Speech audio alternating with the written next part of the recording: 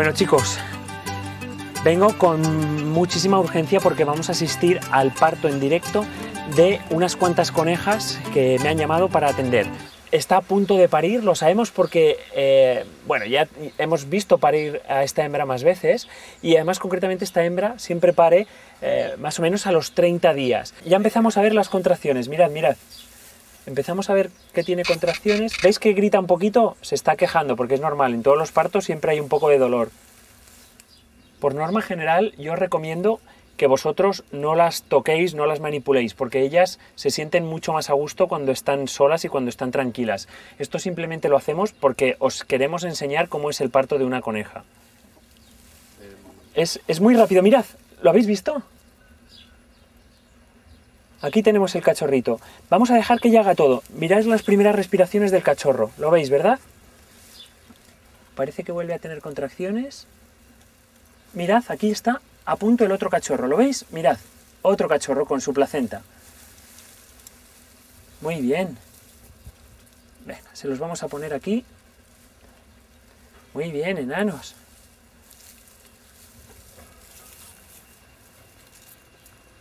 Mira, ahora justo se está comiendo la placenta. Esto ya lo hemos explicado en otros vídeos. Ellas se comen la placenta para eliminar todos los restos.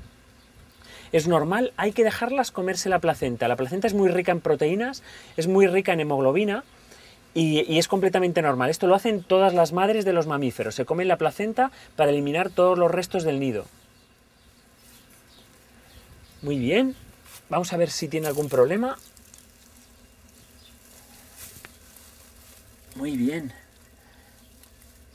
Muy bien. Bueno, pues ya van cuatro. Venga, que le, a esta le vamos a ayudar a parir. ¿Vale? Que tiene el cachorrete un poco atascado. Venga, perfecto. A esta le, le estaba costando parir a este y le hemos ayudado un poco. Este bebé justo se había atascado en el canal del parto. Le hemos tenido que ayudar un pelín para que consiga echarlo. Venga, venid para acá, venid conmigo, que vamos a intentar que veáis en primer plano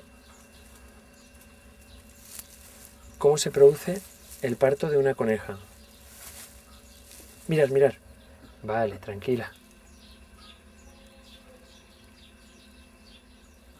Vale, ya está casi, ¿eh? Vale. Muy bien. Muy bien. Es que tiene unos conejitos muy grandes. Venga, mírale, ya está aquí. Bueno, ya tenemos el segundo. Chicos, os tengo que dejar porque se nos está complicando un poco el parto. Nos faltan otros tres cachorritos y vemos que todos ellos se están atascando. Entonces, quizá necesitamos hacer más cosas. Os dejo. Espero que hayáis disfrutado un montón de las imágenes que habéis visto, que son muy exclusivas. De verdad, normalmente cuesta mucho ver parir a los animales. Y mil gracias por estar ahí con nosotros y nos vemos. Gracias.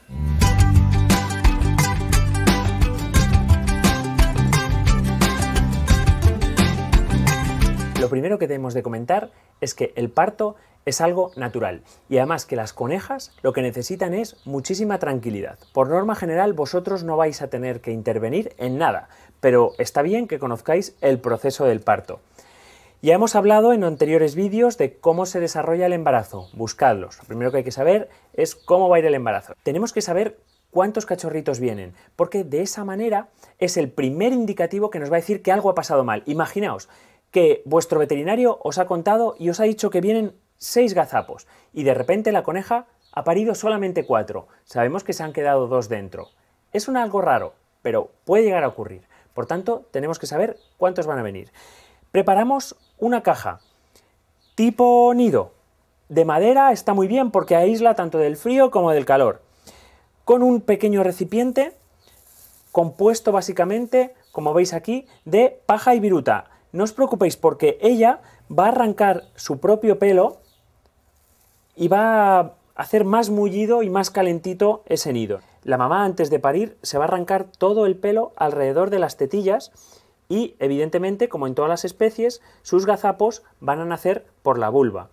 Tenemos que chequear que todo esté en correctas condiciones y dejarla tranquila. El proceso del parto va a durar aproximadamente entre 3 y 4 horas y siempre suele ocurrir en horas crepusculares o incluso por la noche. De hecho, lo que casi seguro que va a ocurrir es que un día llegaréis y la coneja ha parido y está con todos sus cachorros. Sí que es verdad que excepcionalmente hay problemas y en ese momento siempre, siempre, siempre hay que acudir y, visitar al veterinario, porque es el único que os puede ayudar. Es muy raro que algún conejo se atasque en el canal del parto. Llamamos canal del parto al canal que hace la pelvis, al tránsito que realiza el cachorro desde que está dentro en la tripita hasta que sale. En la mayoría de las ocasiones es común que de repente os encontráis a la mamá con todas las crías. No sabíais que estaba preñada y es lógico que tiene que haber vivido con un macho. Entonces, siempre decís, hoy, pues venga, vamos a separar al macho, porque evidentemente la madre tiene que quedarse sola con, con los niños, con los bebés, pero habéis de tener en cuenta que en el momento del parto ocurre en las conejas el celo del parto. En el momento que la coneja pare, el macho es capaz de volver a montarla y al mes que volváis a tener bebés. Esto ocurre en el 90% de las ocasiones.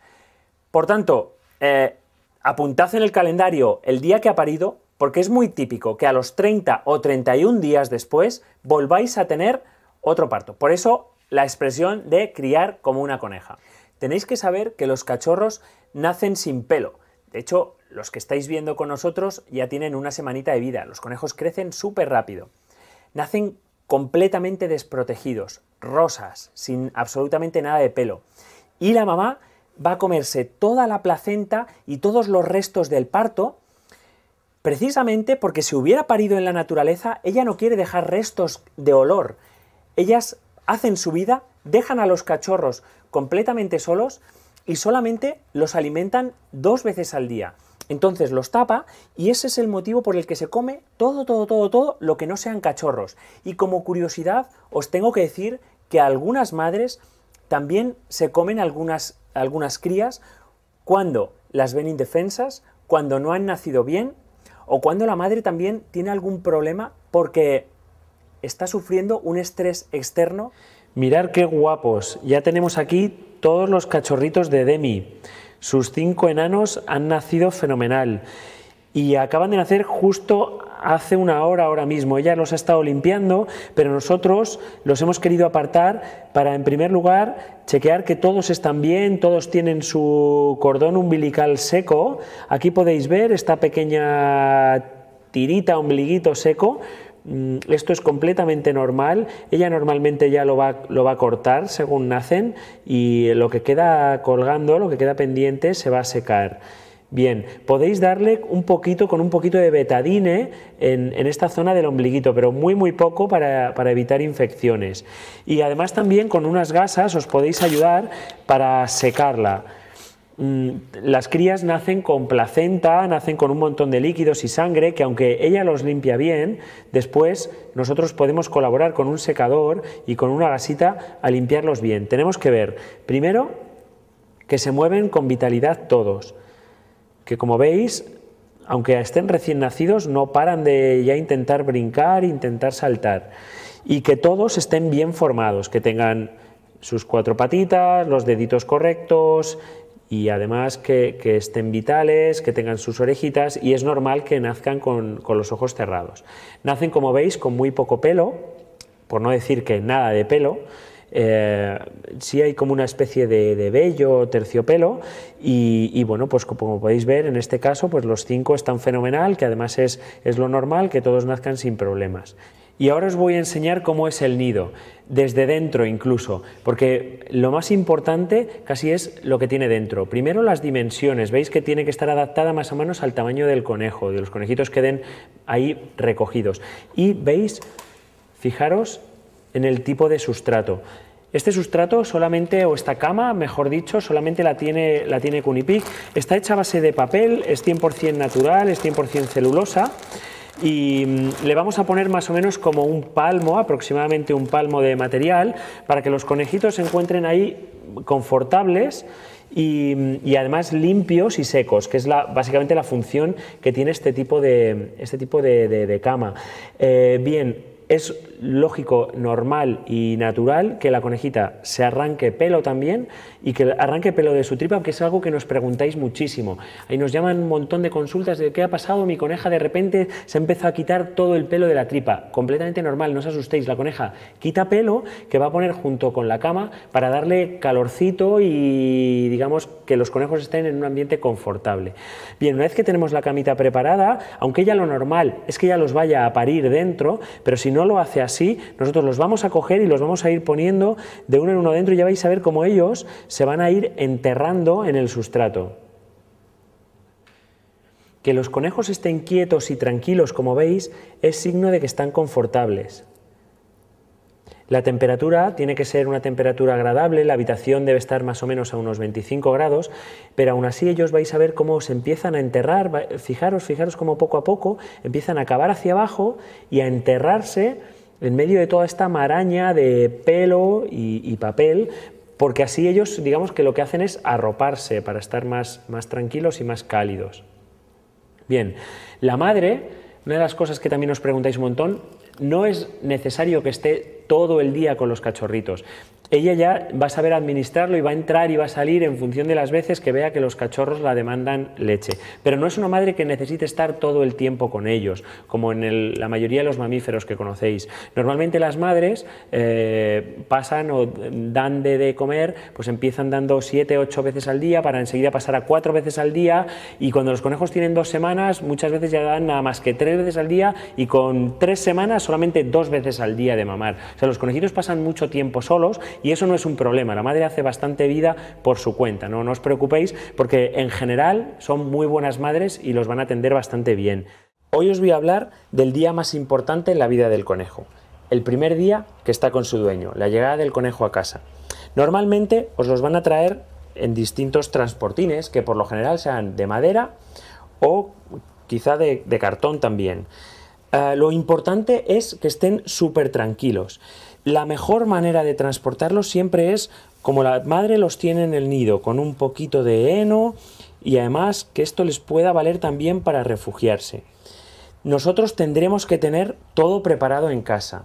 Es muy importante, incluso es más importante tener primero la jaula antes que el conejo, o por lo menos si no a la vez. Entonces, la jaula ya está montada.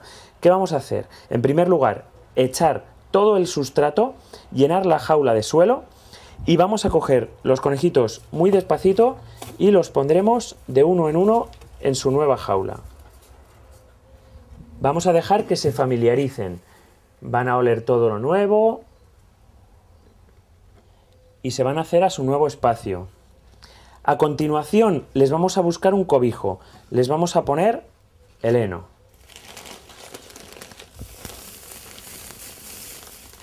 Todo con movimiento muy despacio para no estresarles y no asustarles.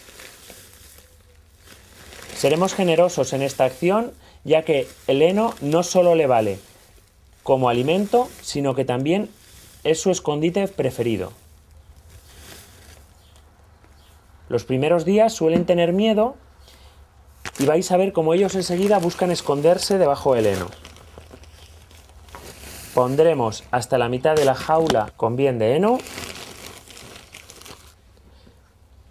Es buena idea a ellos enseñarles a cobijarse para que estén más tranquilos. Están como, siempre son cachorritos y para que se metan como en su madriguera. Les hemos hecho un nido artificial, ¿veis? Parece que ya no hay conejos. Muy bien. Una vez hecho esto, lo siguiente, vamos a poner agua fresca y limpia en el bebedero. Normalmente, sobre todo si es verano, van a llegar con bastante sed a casa. Y a continuación alimento de bebé, si es el caso, que normalmente siempre llegan a casa siendo cachorritos, la pondremos en el comedero. Tampoco demasiado, pondremos una pequeña cantidad que sea fácilmente accesible. Por último, pondremos la tapa. Veis que esta jaula además tiene dos pisos. Vamos a poner la tapa en su sitio. La vamos a fijar bien, anclar para que no pueda haber lugar a que se escapen. Solo queda la tranquilidad. Los primeros días estamos hablando de los dos primeros días, no hay que estresarles. Es mejor se pueden coger, pero cogerlos poquito tiempo y que la mayor parte del tiempo estén en su nueva jaula para que ellos se hagan a su nuevo ambiente, a sus escondites y a que, a que se relajen, porque normalmente acaban de venir de la tienda, mm, cambian de casa y entonces se tienen que adaptar. Y ese periodo de adaptación normalmente suele durar dos días. Lo ideal será ponerlos en un lugar tranquilo, donde esté alejados de perros, de gatos, de cualquier otra mascota que los pueda estresar y con una luz tenue. Nos fijaremos al mismo tiempo que comen con normalidad y que beben con normalidad, pero siempre sin cogerlos. Hoy me van a bañar por primera vez. Sí, claro que sí. Aquí estamos en el cuarto de baño, nos hemos trasladado al cuarto de baño para darte tu primer baño y hay que ser muy mimosos entonces, ¿eh? ¿Qué elementos necesitamos? Pues básicamente un cepillo, un secador, toallas, pues bueno, lo mismo que una persona, básicamente igual. Empezaremos jugando con él, ¿vale? En ambiente, yo creo que lo mejor es la pila de casa. Dejaremos que corretee un poco por la pila, que se familiarice con el sitio. Bueno, cuando ya llevamos unos minutos, entonces empezamos a abrir muy poquito de agua con un agua muy templada. Lo que sería igual que para nosotros, lo que nosotros consideremos agradable. Deciros también que la primera vez que lo metemos al baño, y que lo vamos a bañar, ya tiene que estar el animal completamente vacunado y completamente desparasitado para que sus defensas estén al día y que no nos vaya a coger ninguna enfermedad por hacer esto.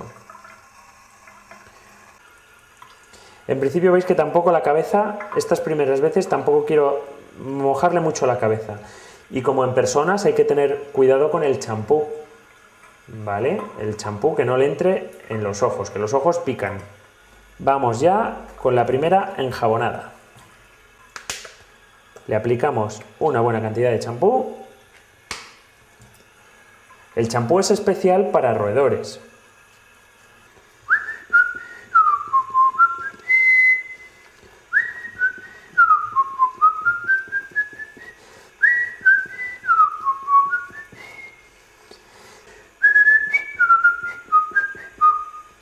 ¡Eh, mola, eh! ¿Cómo te lo estás pasando? Venga, vamos al agua otra vez. Muy bien. Venga, segunda enjabonada. Se está muy quieto y nos deja hacer de todo. Venga, vamos a escurrir. ¡Cómo mola, eh! Además, esto le vale incluso como, como hidroterapia. Estos masajes les van muy bien a los animales, lo mismo que a las personas. Les refortalece el pelo y les vitaliza además un montón el pelo y la piel. Y él además se encuentra muy a gusto porque está muy quietecito. ¿Hay que seguir? si no pareces ni un conejo ahora, pareces un canguro.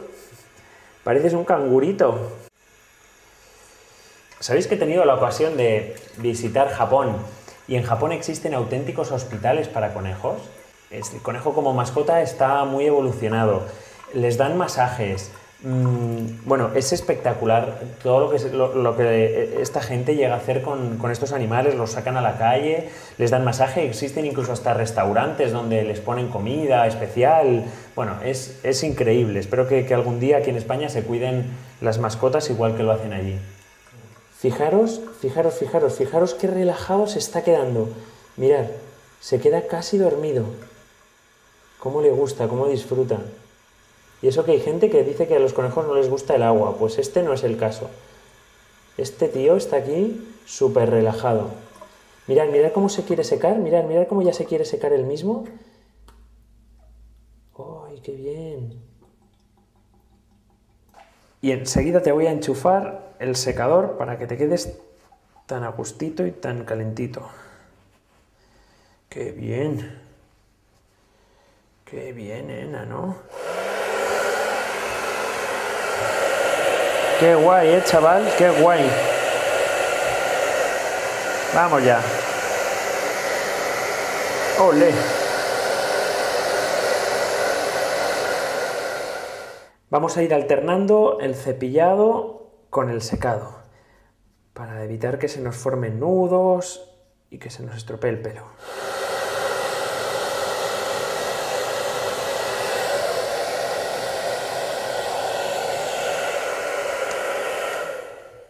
Toma ya. Vaya pompón más guapo. Ya estamos preparados para irnos a dar una vuelta.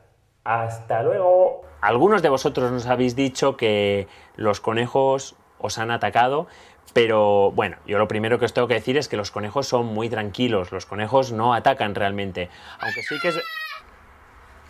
Dios.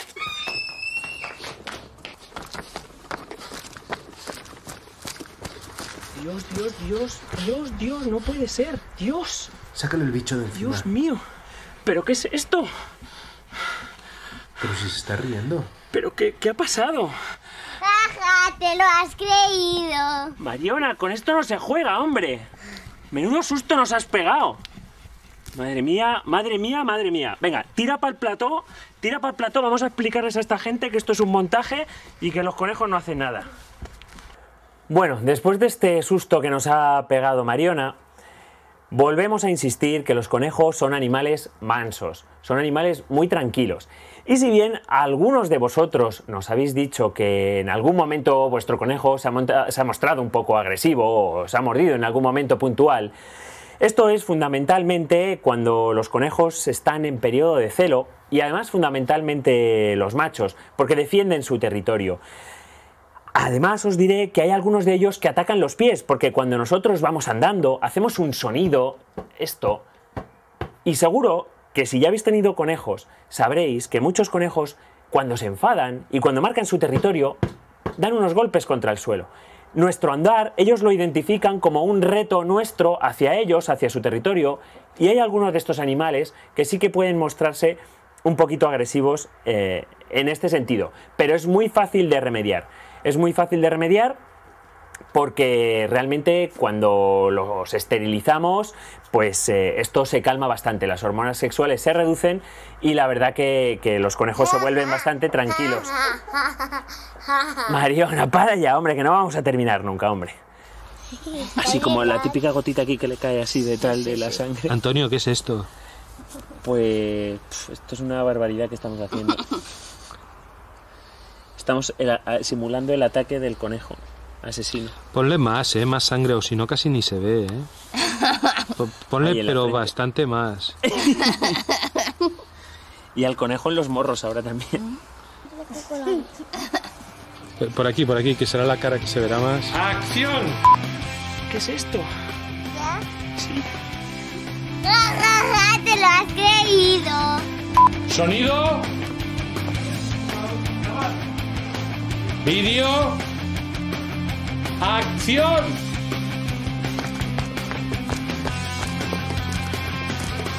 Dios, Dios, Dios, Dios, Dios, no puede ser.